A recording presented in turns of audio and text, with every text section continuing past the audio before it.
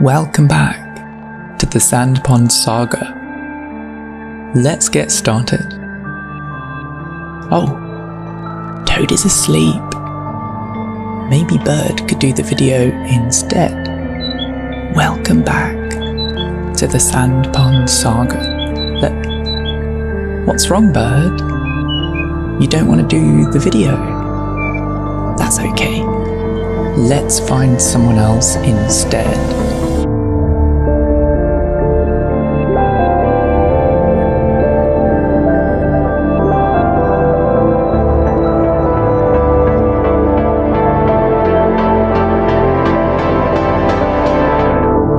These videos, we use lots of complicated words.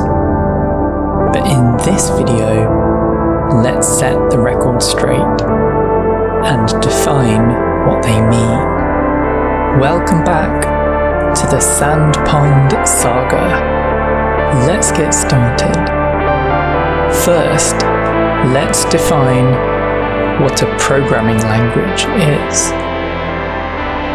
I speak English, UK edition. Unfortunately, my computer does not, but it does speak a bunch of programming languages that I also speak, like HTML, which I used to make this little game.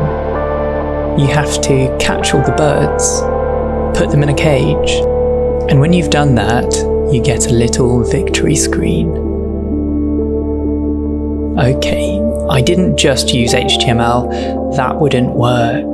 I used another programming language too, called CSS, to tell the computer what to do. Sorry to interrupt, I'm editing the video right now and I've just realised that HTML is not a real programming language. It's actually a markup language, so when you use it, you're not actually programming, you're markupping instead.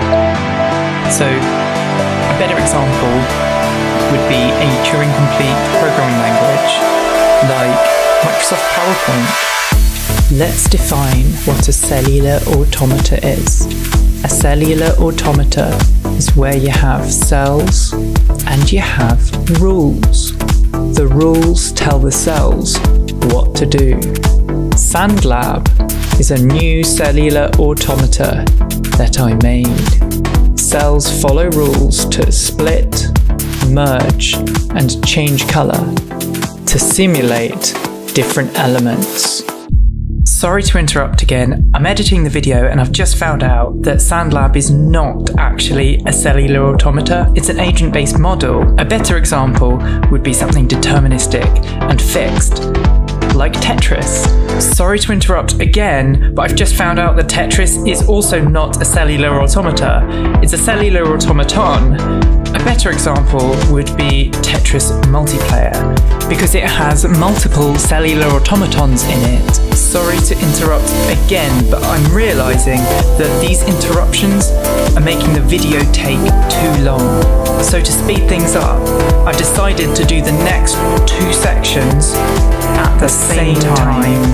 Let's define intelligence. Intelligence is something that dynamically pursues its pattern, and this pattern can take many forms. Like FishLab. FishLab is an intelligence engine that I made. Fish can swim, swim forwards and turn up and down. They grow when they eat a circle and shrink when they eat a square. When they get big enough, they split into two, causing everything about them to mutate, including their brains, which control their intelligent behaviors. Sorry to interrupt again, I'm editing the video right now and I've just realised that these fish are not an example of intelligence. They're actually artificial intelligence because they're just drawings. Sorry, to interrupt, again. I'm editing the, I'm video, editing video right, right now, and I've just found out that they're not artificial intelligence either, because there's because no way of telling, if they have, if they have a consciousness. They're, They're actually, actually artificial, artificial- artificial, artificial life. intelligence. Let's define fractal. A fractal is a pattern with infinite detail. No matter how far you zoom in, there's always more to discover. An example of a fractal is a fractal because no matter how far you zoom in, no matter how much you break it down, no matter how long you do this for, Sorry to interrupt, I'm editing the video right now and I've just realised that a fractal is not a fractal. It's actually a fractal. So a better example of a fractal would be a fractal. Sorry to interrupt again, but I've just realised that a fractal is not a fractal. It's actually a fractal. A better example of a fractal would be a fractal. Sorry to interrupt again. I've just realised that a fractal, well, it's not actually a fractal because if you break it down fully, sorry to interrupt, uh, it's I've actually just a realised that a fractal because, is you know, not actually looking at all of these a things, uh, technically close scrutiny when and you go into sorry to interrupt, fractal, I've just realised then that what you might keep going um, through fractal that fractal is dimension. not sorry, I've just just realised realised at the end of the story is not not actually a a fractal. Sorry, I've it's really realised a that that information is is fractal. fractal. It's just Fractal. literally Fractal. definitely not trying to go like Fractal. it's Fractal. fractal. Let's define art. Art is a tool that we use to express ourselves and communicate. Sometimes the art is for other people, and sometimes it's just for you. The art that you make tells us something about you. Personally, I like to play little tunes on the baritone ukulele. It's not meant to be heard by anyone, but it helps me to express how I'm feeling, and I find it quite fun.